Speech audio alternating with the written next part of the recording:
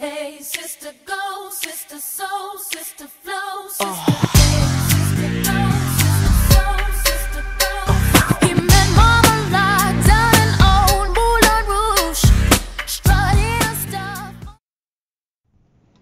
Hey ladies, welcome to Soul Sisters. I'm so glad you're here. As you can see, we've made some new advancements here at P2 P Squared Productions, and um, so we're happy to be able to use this new stuff to be able to bring new ideas about Jesus to you in a different way and have some fun doing it. So it should be exciting. So we and we're Advent. You saw that we went through some Advent, uh, more contemporary worship Advent songs. We had some um, traditional songs in there too. We used some examples that were more contemporary. Uh, but so, but we're gonna go back to the basics now. We're gonna keep talking about music, but we're gonna go back to the basics and talk about some hymns.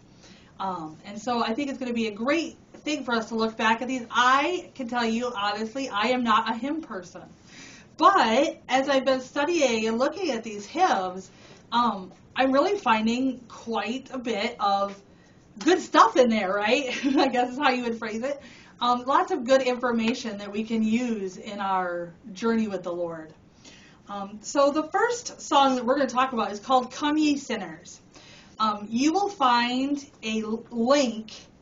Well, no, never mind. You on the Facebook group. So you probably need to look at the Facebook group if you want a page that you can print off um, to use for your for your however you want to use it. I am going to use them as an art page, and you know I'm going to post my examples of the art pages on the Facebook group. So if you want to check that out, um, you can join it. It's called Soul Sisters. Um, and you can come join us and find out some different things. Our other devotion groups are all getting Facebook groups too. So if you watch one of those and you want to join one of those groups, you certainly can. So anyway, so we're going to start talking about "Come Ye Sinners," um, and it's a primarily a Baptist hymn, um, but it's got some really good stuff in it. Um, so that's what the one we're going to talk about today. And the verse that it's going to have us look at is Luke chapter 5, verses 31 and 32. Jesus answered them, Healthy people don't need a doctor, sick people do. I have come to call not those who think they are righteous, but those who know they are sinners and need to repent. So that's kind of the verses we're going to focus on. Um, there's also some other passages that would be great for you to read. If you look at the description, you'll see that it says additional readings, or you can find that on the Facebook group too. Um, so I don't like to go to the doctor.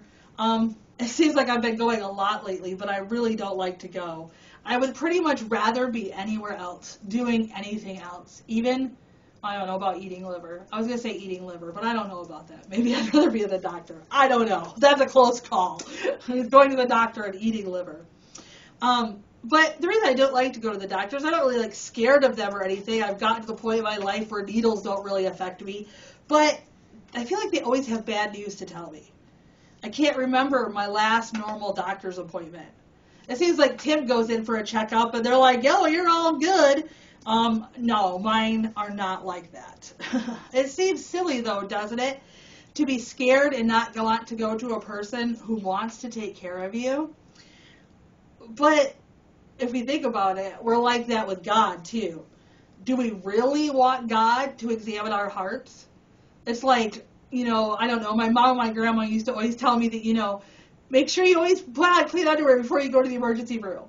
It's like, well, okay, the next time I get stabbed, I'll make sure to go put clean underwear on first before I go to the emergency room, you know. But because you don't want to see, you don't want the doctor to see maybe your dirty parts or your where you're you're not perfect or something. Um, so we're getting like that with God. We don't want Him to see our dark spaces. Um, we don't want Him to see that stuff we've got hidden inside. You know, and if he saw that, what would be worrying worrisome is if he if God saw what was really inside me, why would he want me to share his message? Sometimes we say, Well, God, I want to share your message, but there's just a few things in my life I need to clean up first. I need to get everything just perfect. Um, but sisters, we are all sick with sin. Um, this is a disease that is spreads faster than COVID, right? We are born with it. and there is no um, uh, vaccine for it, right? Except who? Um, we'll talk about that in a second, right? We'll talk about what the vaccine is for sin. Every one of us is just drenched in this filth of the sin disease. We don't want that light, that Jesus light, to be shined because the germs are just going to be everywhere, right? You're going to be able to see all those sins. We don't want God's light shined upon us. We definitely don't want to hold them out and offer them to the, the man who died for them, right? Who had to die on a cross because of them. No, we just want to keep them in our back pockets. But that's not what God wants us to do, is it? Jesus wants to heal us. Jesus is the vaccine or the great physician who applies the vaccine, right? He asks us to come. He begs us to come throughout the Bible. He knows He is the only one who can heal us.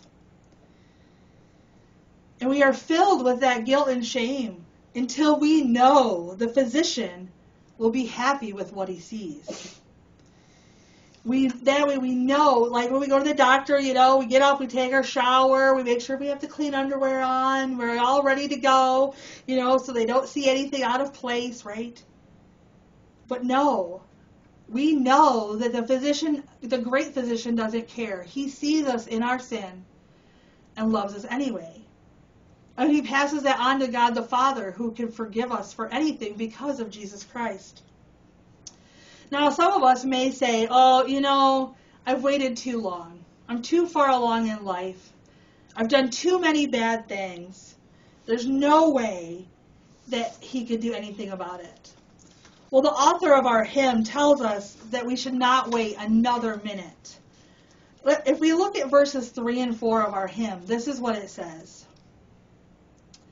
Let not conscience make you linger nor of fitness fondly dream.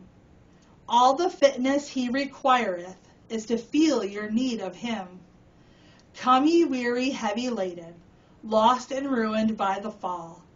If you tarry till you're better, you will never come at all. Sisters, do you need Jesus? We all do, right? He is calling for you.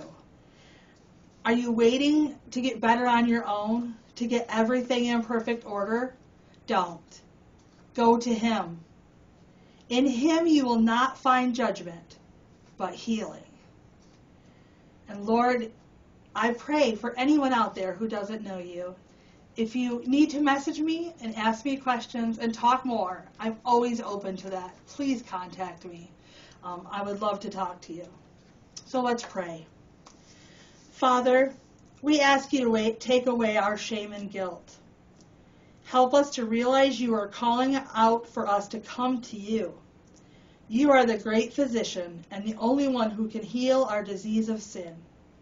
We are so thankful you are here to take away all the gunk we accumulate. Always keep us close to your heart. Amen. Well, sisters, I'm so glad you are here with me today, and I look forward to seeing you tomorrow. Have a blessed day.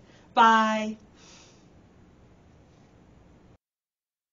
Where's all my soul sisters? Let me hear your flow, sisters. Hey, sister, go, sister, soul, sister, flow, ah. sister. Oh.